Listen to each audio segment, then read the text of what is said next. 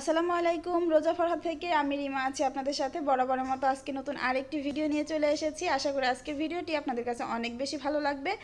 আর ভিডিওটি ভালো লাগলে অবশ্যই একটি লাইক দিয়ে ভিডিওটি দেখা শুরু করে দিন। আর যদি এখনও ভালো না লাগে, তাহলে পুরো ভিডিওটা দেখতে থাকুন। আশা করি পুরো ভিডিওটা দেখার পর অবশ্যই ভিডিওটি অনেক বেশি ভালো লাগবে।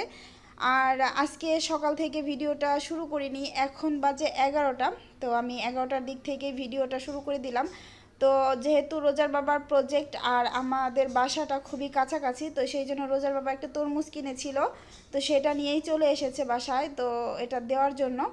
তো একটু আমি কেটে নিচ্ছিলাম সঙ্গে সঙ্গে, তো তাকেও একটু দেবো, সে একটু খাবে। আর আমাদের রোজার বাবার প্রজেক্টে একটা ভাইয়া আছেন। ভাইয়া বলা চলে না, আসলে অনেক বয়স্ক। তো সে যেহেতু ছিল কেনার সময় সঙ্গে, তো তার জন্য কিছুটা তরমুজ নিয়ে যাবে।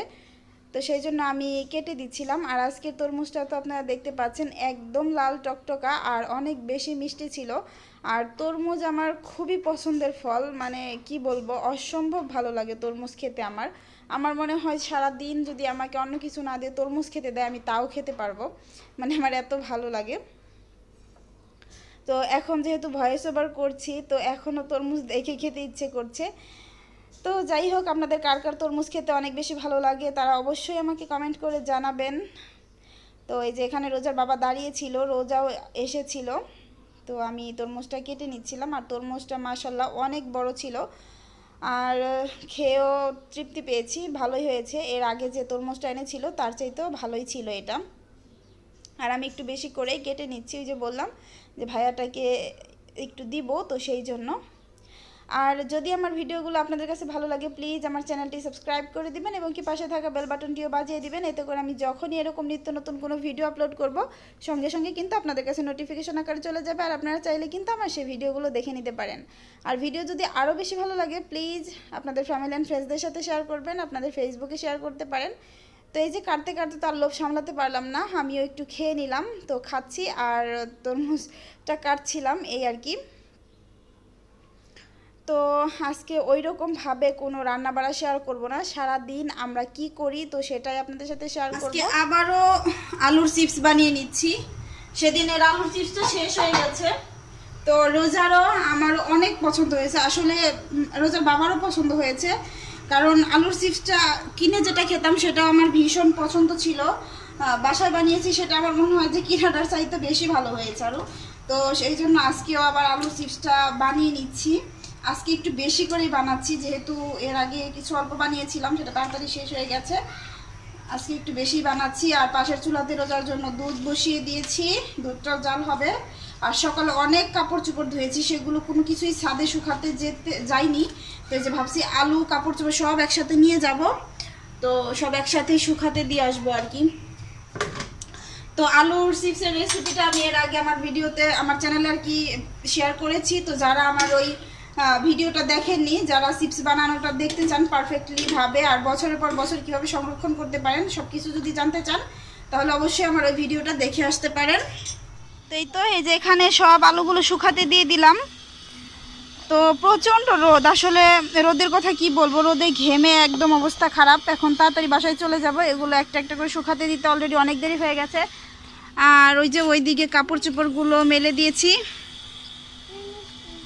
তো এখন যাব, বাসায় যাব। বাসায় যাই।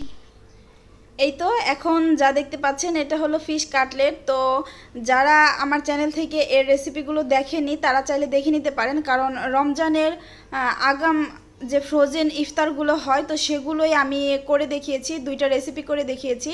ফিশ কাটলেট আর একটা হলো চিকেন বল তো এগুলো কিন্তু সামনে রমজানে আমাদের অনেক বেশি উপকার আসবে আর খুবই ইয়াম্মি হয়েছে রেসিপিগুলো তো আপনারা চাইলে যারা দেখেনি, তারা কিন্তু অবশ্যই আমার এই ভিডিওগুলো দেখে নিতে পারেন। আশা করি আপনাদের ভালো লাগবে আর খুবই অল্প উপকরণে এগুলো তৈরি করা যায় আর খুবই সময়ও অল্প লাগে। তো আপনারা চাইলে যখন তখন সকাল বিকালে নাস্তা হিসেবেও রাখতে পারেন, আবার ইফতারের আইটেমেও রাখতে পারেন। তো সেটা একটু শেয়ার করলাম আপনাদের সাথে। আর এই যে এখন হলো সন্ধ্যার পর।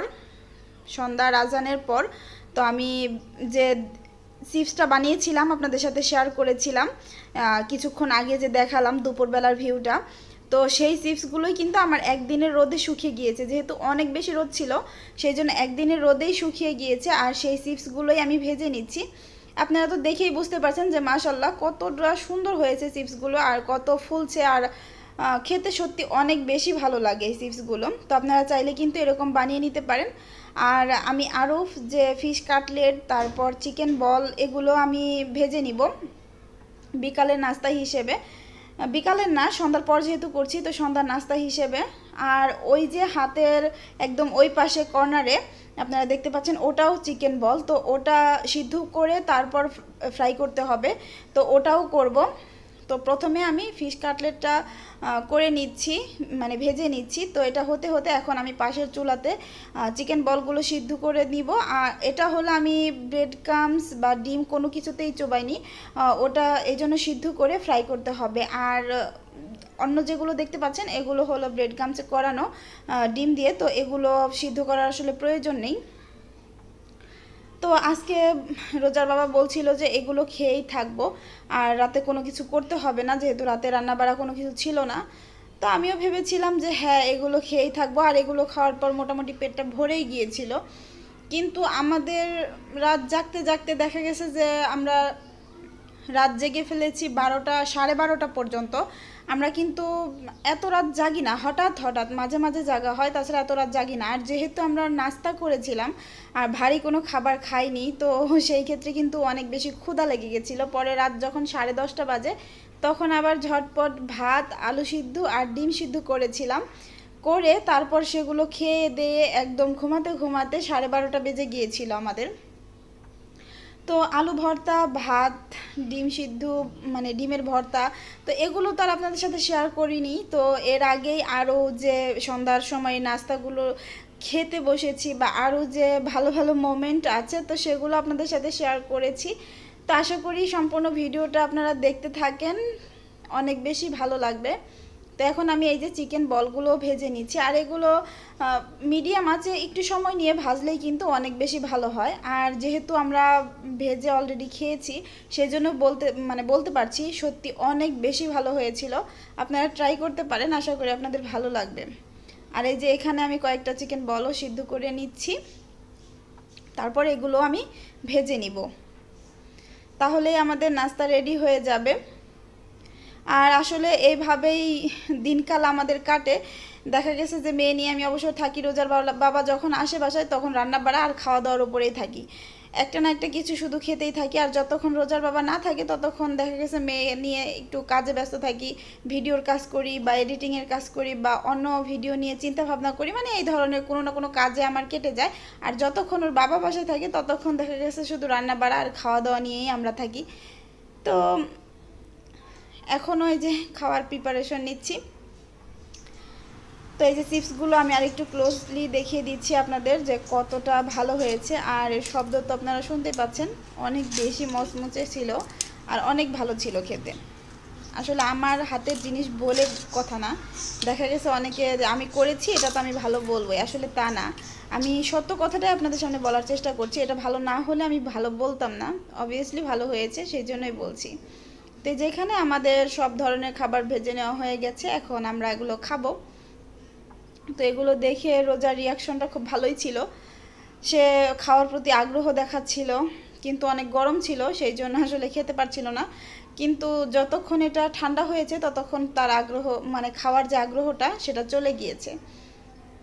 তো আমি একটু দেখাচ্ছি আপনাদের সবগুলো কেমন হয়েছে। খুব সুন্দর কালার এসেছে এবং কি খেতেও ভালো হয়েছিল। তো রোজাকে রোজার বাবা একটু ছিঁড়ে একটু ঠান্ডা করে দিচ্ছিল। কিন্তু সে আসলে বেচারি খেতে পারছিল না। মুখে দিতে গিয়েই দেখে যে একদম গরম, সেই জন্য খেতে পারছিল না। সে খুব আগ্রহ নিয়ে বসেছিল খাওয়ার জন্য।